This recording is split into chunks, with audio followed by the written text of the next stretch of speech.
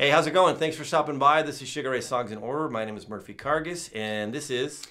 Hey everybody, it's Stan Frazier. Hello, people in the World Wide Web. I'm super stoked that uh, he stopped by to do When It's Over, um, a hit we had on the self titled record, the fourth album. And uh, it's just going to be fun to talk about it. I talk about everyone so far, and you've mentioned some cool things like he should have a guest on, and um, you know I love the comments. So so we're doing it. So I wanted to talk about it because this song actually was written. It was coming off of the 1459. It was the next single, and I know there was like some pressure for us to like keep it going. So we can just kind of jump into like where were we? You know? It's such a funny place we were, Murph, because uh, you know we were coming off three really big songs, like you know, number one song "Fly," you know, then we had um, "Every Morning," and then we had "Someday." So you know, there was no pressure at all, right? And we didn't like- expect those hits, too. Like it, as you've seen in these videos, like Fly was a, like a weird. It was written in a weird way, and then the other ones came and we were grateful. But this was like a different record because now it's almost like you got to keep it going when it wasn't expected before. Right. And so coming off of those three, you know, big hits, you know, I was lucky because, you know, I had the gift of uh, writing a lot of the hooks and melodies and lyrics for the choruses on all those songs. And so when um, I look back at this, it's kind of funny the uh, the gen- genesis of, of these songs. So Fly was kind of like when I had my girlfriend. And then you know, uh, you know, uh, uh, every morning was kind of like when I was losing the girlfriend because it was like, oh shoot, I think she was she thought I was cheating on her, which I wasn't. And then when it's over, that bitch had just left, you know. so that was that, right? Um, so it- Gone out the window. yeah, it, it- everything I had known had, had gone out the window. I thought like uh, this was going to be it, but um, as you know, relationships sometimes fall apart. So the uh, the the thing that with this song, you know, we'll get into it a little bit, but um, you know, Rodney was messing around with that riff, you know. That kind of thing, and Yeah. he, he kind of had a beat to it. I think Homicide put some beat to it. So I got maybe some kind of like recording of it, uh, maybe a CD or something, and I was uh, went back up to LA and I wasn't really hearing much on it. And then I kind of developed some things, and then I, I, I what I did a lot was drive around in my car, and that, that's kind of where I did a lot of my writing, and, and a lot of the big songs came from my freaking car. So I, and I still do that because it's a place where no one's gonna bother me, and I can um, repeat the song as many times as I want. No one's gonna listen to me, and I can throw out all the bad ideas. So um, I had I had this the, the chorus for this song. Um, it just kind of popped into my head, kind of like they do. And luckily, I'm, blessed with that. Uh, uh, ability somehow like my mom had uh, a little uh, a lot more talent than I did. Your I got- mom was rad. I got like one percent of her talent. She but anyway, rad. so writing the tune, um, I, I was thinking about where the relationship I was in was headed, and and um, I wanted to put some meat on the bone, as they say. So I wanted to get some imagery in there, like about TV shows or remote controls, or you know the things you do with your your significant other that like you just you're gonna miss after that's gone. So um, when I originally came up with the chorus, um, it was a whole octave higher. And um, really? Yeah. Well, the, the, the, the, melody was supposed to go instead of all the things that I want to do. Right. It was it was supposed to be So it was like extremely too high. And so I, it sounded way too out of my range. So, um, but the, but the melody was there. The, the, it was it was slightly so I brought it down to all the things that I used to say, all the things that got in the way, all the things that I used to know have gone out. So that's how it, we finally got the melody kind of wrangled in and, and it sat in the track more. And it was a, song that, you know, anyone could sing along to, which was good. And it still had the da da da da da da da the repetitiveness that I was looking for in a hook. And um, the lyrics are pretty cool. So, um, you know, I don't know. That, that's how that came about. It just kind of spun, uh, you know, landed in my head, worked it out, changed the melody a little bit, and then kind of developed the lyrics accordingly. I love, I love that you mentioned your mom. Jan's mom was like, she had the talent. It feels to me like a throwback, like singing, dancing. Like, do you think that's maybe where you get some of your musical Absolutely. I mean, DNA and talent? and My dad had zero musical talent. In fact, he used to tell us uh, he'd come into the rehearsal studio and say, "Can you guys do you know Far Far Away?" And we're like, "What? what- No, what song is that?" He goes, "No, can you play Far Far Away from here? Get out of here! Yeah, y'all suck." Who liked Engelbert Humperdinck? My mom. That was my mom. So my mom played piano. She played ukulele and guitar, and she sang. She got a vocal scholarship to college. I got one one thousandth of her talent, and I'm lucky to even had that. So No, but she was proud of you. You know what I mean? Like when in the Fly video, that was fun. We put all the moms at the end of the video, right? she would just, I mean, she answered questions in Yeah. song form. She would go to the DMV and be singing. I mean, she was a, like a, it was a different sort of uh, attitude. She she was such a pleasant, happy woman, and I and I have to hand it to her. She uh, she got me through a lot of hard times. So thank you, Betty, for that. A lot of shout out. So anyway, so back to the tune, and so he comes up with that. We bring it to the studio. We were writing it. At this point, we had uh, we sort of all broke off, and I think for the self-titled, we really kind of like started turning things in separately. We didn't live in the same house anymore. Don Gilmore produced this record, um, as you've heard in the other videos so far, and he he was a great guy to come in and really make our band sound like a great rock band, and I love that as like the nerdy like music rock guy. I'm like, yeah, he like took pride in making Stan's drum sound incredible. My bass, the guitar. Listen to the guitar sounds in these songs. Anyways, but back to when it's over. So we're working with Don Gilmore, and as great as Don Gilmore is, and he's great. We sort of felt like when the song got finished in the studio, it needed that extra special rub. And so we actually had David Kahne come back in and do a remix of it for the record. Yeah, David Kahne's a musical genius. Um, David Kahne was a, you know, it, it, was one of those things too. Where, Don would put certain like tonal guitars on there that weren't really, they were really kind of rock, but but Yeah. um, we needed that David flavor, and um, and he certainly added it for this. There's sub basses going on. there's Special all this- sauce. There's all this special sauce. loops and percussive stuff going on. If you really listen to the song in headphones, you- you'll know what we're talking about. But um, and it, and it just became a song everyone really like thought this was the follow up to uh, to someday, and and sure enough, it, I think it was a I think it was top ten, maybe like maybe not not top five for sure, but I think in the top ten. So uh, we cracked the code again, and we definitely put the naysayers uh, away again after this record having another hit. So that that was kind of the uh, the last one where we needed to like shut everybody the hell up because you know after Fly someday every morning and when it's over it's kind of like all right Sugar Ray these guys can write some songs so we were lucky for that. We're gonna do it right now. Here's when it's over. Let me see on can- the self-titled number 41.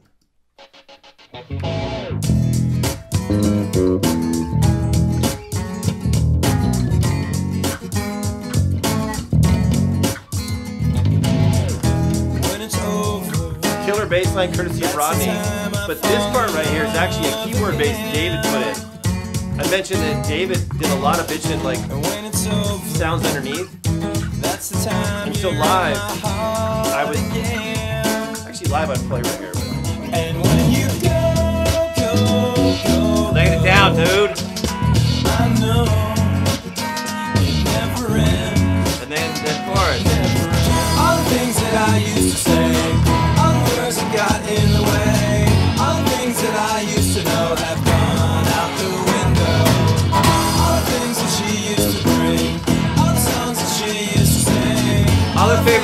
you.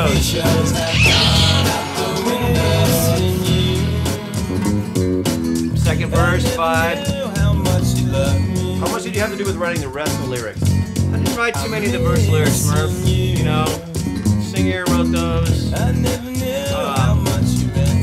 you know, just kind of like placeholder. Here you go. Then his pre-chorus is cool. Kind of a whole long hold whole little guitar chords. My video. All the things that I used to say. All the words that got in the way. All the things You know, like each section is. Yeah. Remember the bridge? Here comes the bridge. All the things she used to bring. All the songs that she used to sing. All their I favorites. think coming up is Rodney's part of the video. Yeah, this is a breakdown. It's like a third verse breakdown. We never did Yeah. Three verses. That's kind of weird. And we always had weird choruses where you didn't. This one has a true chorus, but the other ones, people were like, "Where's your chorus?" in every morning. And this is where Rodney fought uh, Kareem Abdul-Jabbar in the video. Go check out the video on YouTube. It's pretty insane. As an homage to Bruce Lee, his hero. You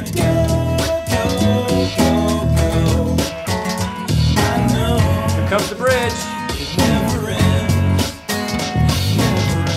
When it's over, can I still come over? Rhyming over with over. Huh. It works. And when it's over, Yeah, is it really over? He's laying down. Yeah, I think I played it. Okay. When it's over, Well, this is Mark's part of the video. time I fall in love. That's the Duran Duran. Here's my favorite part of the tune. If you listen closely, we got a counterpart, a vocal part. It starts right here, um, right after this chorus. There it is. All the things. Listen to it. Say. You write that? Yep. All the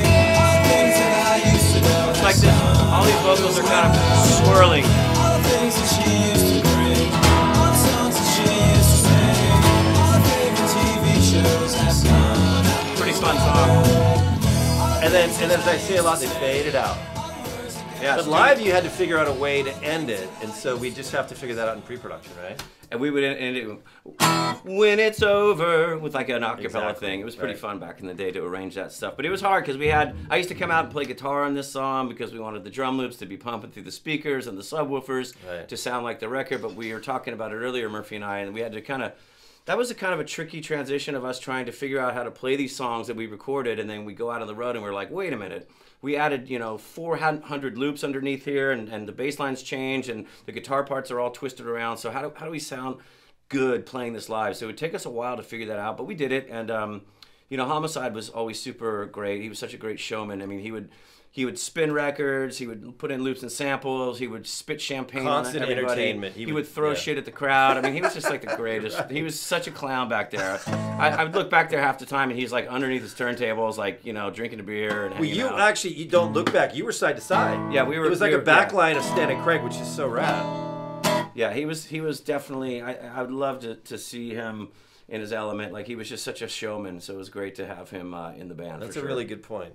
Um, and yeah, and, and like Stan said, we would go to Third Encore. Hey, Third Encore. We would always go there and we'd set up like before a tour. We do pre-production there, which means go and figure out what you recorded. And it wasn't. I mean, he's right. There was a lot of sounds on, on these songs. It was also like the fact that a lot of these were dri- uh, driven by Craig making a beat and not an acoustic drum set playing it. So we kind of wanted to have the integrity of it sounding like the record, but yet how do we? Okay, so how do we? We don't.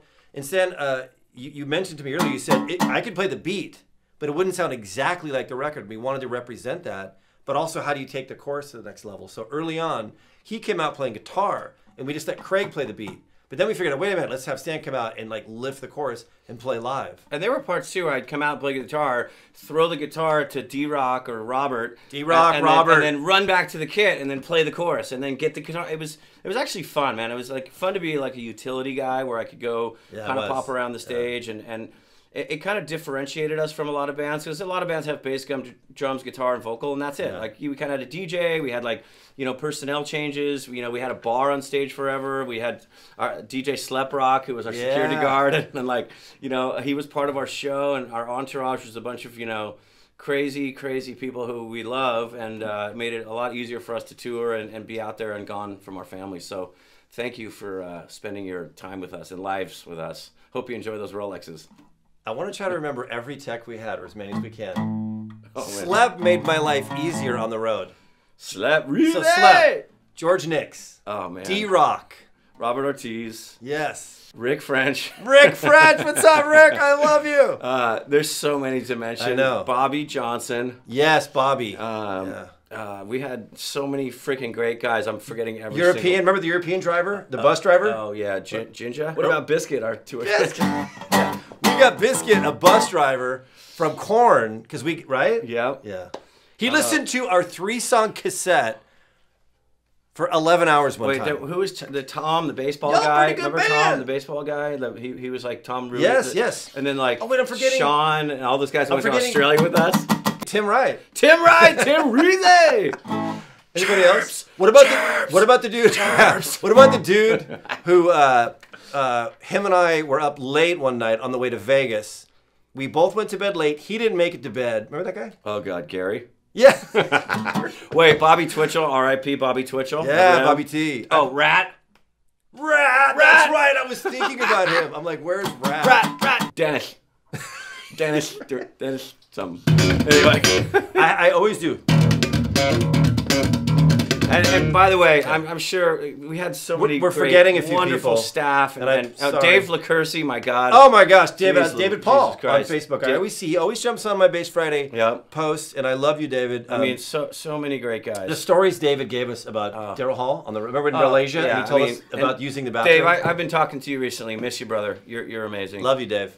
Uh, Mike Stallone. Mike Stallone. Come Go on. go for Mike. Yeah. Stalingrad. The Birds. We're forgetting Mickey. Oh, yeah. Our European tech Mickey. Thank If- you for your service. If we forgot anybody, I'm going to add you specifically to the next video. We can only remember so much in these old brains. Uh, I think somewhere in one of these videos I said that your crew, or maybe it was a post I, I posted about, but you hear people say, "Oh, the crew is family," and you're like, "Yeah, really?" Because you see bands and you you never see the crew, but it's really, really true because when you're gone and you're out there, they're literally your best friends. It's really who you start a second family with. And so when people say that, you have to believe them. It's really true. Look at our expressions freaking out over remembering these great people. And so, everybody, we love you, and it was fun to do our life with you. And so, back to you guys. Thanks for watching this When It's Over video. Um, Sugar Ray Songs in Order. I want to thank Stan for stopping by. It's been really fun. Keep watching Murph's, uh, you know, exploratory b- bass odyssey uh, video series. He's doing a great job, and uh, yeah, thanks for uh, checking us out. Thanks for being fans. And uh, any more questions, direct them to uh, Murph as he plays the Vegas Blues as he takes us out. Wait, we got to do a bass slide to get out of here. Want to do a slide with Yeah. me? Okay. Later. Bye. Okay, we're back and nothing changed. Oh, wait. Oh yeah, we changed instruments. we specifically jump back on because we forgot one person. And we didn't forget, it's just these minds, you know, it's like on the spot. Pete Rock, Pete Karras. Hairwolf, Hair Weezy! Dude, Pete Karras was uh, like one of our very first techs. Um, and he just absolutely kicked ass, and he is the funniest dude and raddest drummer. So, Pete Karras, thank you for all your work. Um, Mike Savoya, of course, you weren't a tech for us, but you, you were so important He to was us. part of the family. Mike Yeah. is part of the family. Um, there's so many others that we're forgetting, but but uh, thanks for listening and, and checking us out, guys. Later. Hold on, I got to say this. The greatest story I've ever. Pete's dad. We have to mention Pete's Oh, dad. yeah. In driving up our driveway Nick 100 Harris, miles an CAA. hour. Nick Harris, Pete's dad said the funniest thing. I don't know if I can give the punchline well, but can we set this up? We're just going to do it for Pete right now. Nick Nick Harris. Remember we walked to the club? Yeah. Nick Harris, Sugar Ray, Pearl Jam. Yeah. no, he said. Did he say C- Nick Harris, "Sh- Sugar Ray, the next Pearl Jam. he said we're the next Pearl Jam to get us into this club, and you know what? It fucking worked. We got in the club real quick. We got in there. We probably did shots. It was so fun. Right, but nobody knew who we were. They just took this old guy at his word that like I don't know what he said, but let him in. Nick Harris, CAA. I got Sugar Ray here with me. They're the next Pearl Jam. Let us in. I put online that Stan's going to be here, and I, I asked, "Do you have any comments, questions for Stan?" So Christopher Lee, what's up, Christopher? He asked, "Ask him whose idea was for the video, which is a classic, especially the Duran Duran Flock of Seagulls montage. How is how did the song came about? We kind of went through that because someone told me one guy was Sugar Ray. I think we'll just address the video question. Video was pretty easy. Uh, like our, our director at the time said, "Hey, what, what do you guys want the video to look like?" And we all kind of wanted different things. And so he said, "Well, why don't we make a montage of all your favorite, um, like wh- whatever you want in your in your scene? We'll do it." So we basically built four sets. We spent half a million dollars and made this extravagant video. It's really funny. If you Google Sugar Ray when it's over music video, please go watch it. You'll laugh your ass off. It's really funny. But we had a really good. And then at the end, we broke into like our real life and we were riding scooters down at the beach and having a beach party at, at night and a concert. It was super fun. I crashed my Vespa, but we'll get into that later. And that's a question here. It was I was told it was a two day shoot. Uh, Marcus, what's up, Marcus? Uh, Sweet Murph, ask him about Sugar Ray golf putter head cover. What's up, Marcus? So this this is pretty easy. So uh, one of our friends, Troy Grant, he's a professional golfer, and he got us these killer up, uh, Sugar Ray putters, and they had these killer uh, head covers, and they were embroidered with our logo and everything, and I was super proud of it.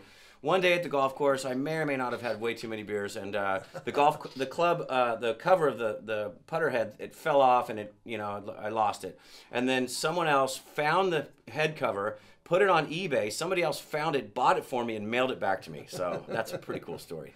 And thanks for uh, thanks for your questions. Debbie Jones, super fan. I love Debbie. Which was his favorite video to make? How the heck did he get so cool? These are questions for Stan. How long has he been a drummer? Tell him I said hey. Hey, hey, Debbie. So yeah, um, my favorite video to make it, it it was probably that one or Fly actually. Fly was like the first one. We had our moms in the video.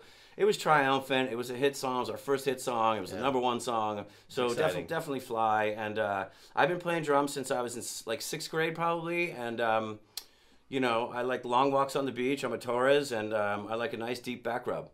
That's weird. Troy Boyland. Uh, Boylan, do you mean the novelist? If so, how about Charles? If you were going to be inspired by a Ray song to write a novel, which song would it be? Wow. Uh, gosh, if I was going to be inspired by a novel to write a Sugar Ray song, what would that be? No, inspired by a Sugar Ray song to write a novel. Um, One of our tunes. I don't know. Maybe like waiting. Waiting would be a good one. There you go. know, waiting. There's your answer, Troy. There you go. Uh, bartender, Mr. Bartender, what's up? Did he purposely fall off the scooter at the end of the video? What's up, Adrian? Um, you know what? No, that was a complete accident. I hit a patch of sand and I went, uh, you know, face down. You know, you know, sprained my wrist, and uh, it was totally accidental. I, I wish I, I would have been like a Chris Farley kind of guy and faked that thing, but it was real as hell. Check that replay out right here. Okay, uh, Don Bronze. Don Donnie, Bronze, what's up, dude? Flashback heart attack. where's he get his pepperoni? we use the Roni cups at Sergeant Pepperoni's. They're a little bit more expensive, but they hold all that grease. So it's like a it's like a shot glass full of grease inside a pepperoni cup. Try it out.